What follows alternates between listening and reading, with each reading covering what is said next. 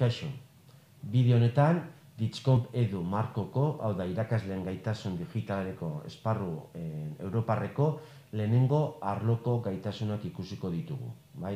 Lehenengo arlo honek, kompromiso profesionala izena du.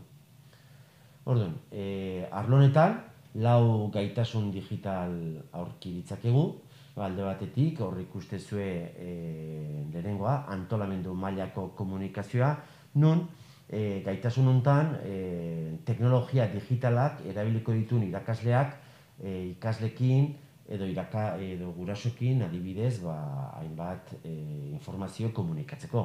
Ba, arauak, egutegiak bai, e, komunikazio izan daiteke bai e, taldeka edo bai e, banaka bai, baita ere e, gaitasun digital hontan antolamendu mailako komunikazio izeneko gaitasun digital hontan lankidekin komunikatzeko gaitasuna baita ere aztertukoa eta nola ez baita ere ba ikastetxetik kanpo dauden ba adituekin edo hainbat e, sarekin.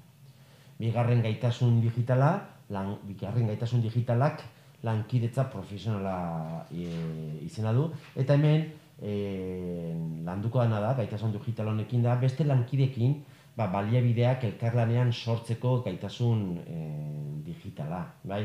Baita ere, e, bultzatzeana da gaitasun digital honen bidez, ba, sare profesionalak erabiltzea ba, gure jardura pedagogikoai buruz hausnarketak egiteko. Eta nola ez, e, sare e, profesionaletan e, baldiman abil, ba, nire autoprestakuntzarako, da irakaslaren autoprestakuntzako hainbat aukera e, landuko ditu. Bale?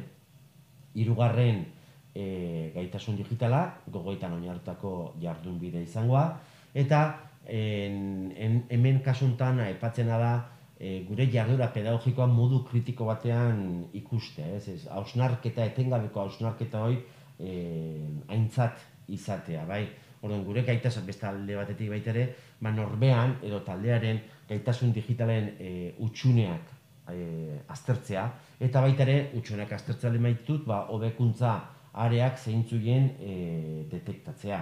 Bai, importantea baita ere, kasontan, bestekin lanitea, baina bata besteon e, zeak, e, edutasun maila, gaitasun digitaletan, hobetzea, elkarri e, laguntzea. Bai, eta azkenen dauketena da, azkenengo ja, e, gaitasun digitala, esparruentakoa, etengabeko garapen profesionala izenekoa. Bai, orduan, hemen gaitasun digitaletan, aholkatze zaigu, e, ba, interneteko, interneteko hainbat balie bide, ba, izan webinar, izan mokak, izan bideo tutorialak hausia bezala, erabiltzea ba, gure e, autogarapeneako, beti ere etengabeko autogarapeneako, beti ikasten e. Bueno, ba, bideonekin amaitze dugu lehenengo arlo hau, eta e, auzkeran izango ditezu beste bideo batzuk, ditzkonpeduko beste arloak aztertzeko. Agur.